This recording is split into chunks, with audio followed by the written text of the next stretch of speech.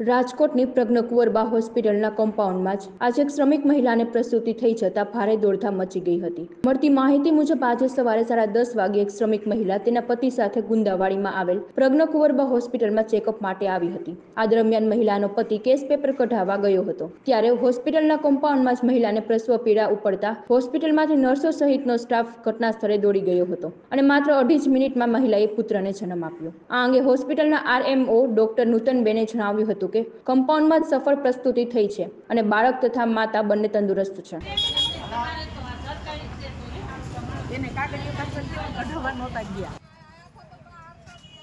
આ નાનું છોકરું એ આરે મારી ઘરવાળે કાલ રાતની હેરાન થાય ખબર હે? કેવી રીતે કરે હે?